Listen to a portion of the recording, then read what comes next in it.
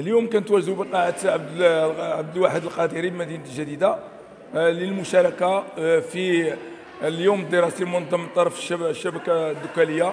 آه، بصفتي كرئيس الجامعة الوطنية لجمعية حماية البيئة التواجد ديالنا هو كان طرح مجموعة من النقاط فيما يخص البيئة والمشاكل التي تعرفها المنطقة الدكالة وبالضبط منطقة أزمور وكذلك سيدي علي بن حمدوش وكذلك الحوزية. آه، من خلال هذا الاجتماع أو اليوم الدراسي اللي كان كان تم تقديم مجموعة من العروض من طرف بعض المؤسسات آه، ديال الدولة وكذلك بعض الجمعيات آه، التي تشتغل في المجال البيئي.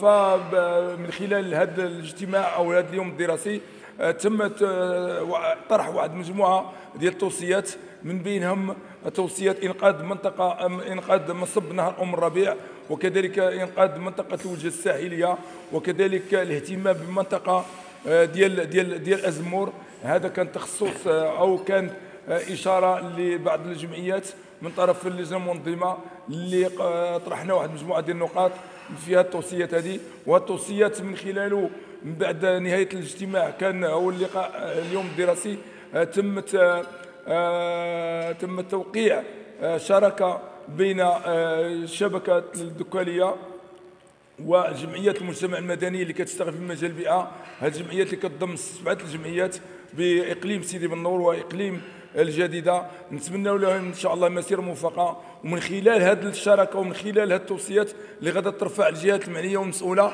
من أجل تنفيذ المطالب العادلة والمشروعة للساكنة وعلى راسهم الجمعيات الناشطة اللي كتشتغل واللي كتدافع على هذا المجال ديال البيئه اللي هو مجال حيوي. يمكن أن كذلك هذه الجمعيات هذه آه، أنها قامت بمجموعة من التقارير اللي الجهات المعنية وصيه وتحية لكم جميعا وشكرا. حضرنا لهذا اليوم الدراسي اللي نظمته الشبكة مشكورة شبكة الجمعيات الدكالية هنا بمدينة الجديده آه، موضوع بالغ الأهمية الا وهو إشكالية البيئة. من خلال هذا البرنامج ديال الترافع آه، إشكالية البيئة بمنطقة الدكاله وحضروا فيه مجموعة من الجمعيات سواء من الجديده أو من أزمور أو من سيدي بن نور أو الوالدية. الجمعيات اللي كتعكس واحد الحس البيئي واحد النضال ديال فعاليات المجتمع المدني في منطقة الدكاله آه، تم التركيز كانت مداخلات ديال جهات رسميه كمؤسسات.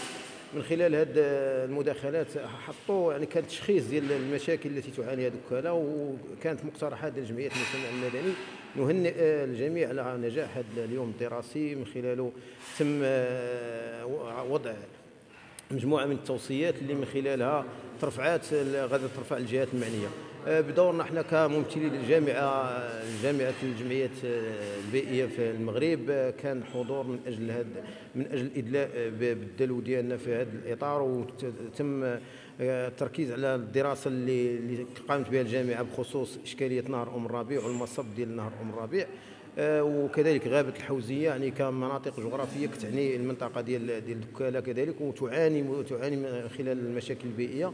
آه، نتمنى أن التوصيات تلقى طريقها للتفعيل وأن الجهات المعنية تأخذ هذه التوصيات بعين الاعتبار في الدراسه المستقبلية وفي كل ما يتم التخطيط له مستقبلا حتى تكون هناك تنمية مستدامة إن شاء الله للأجيال القادمة.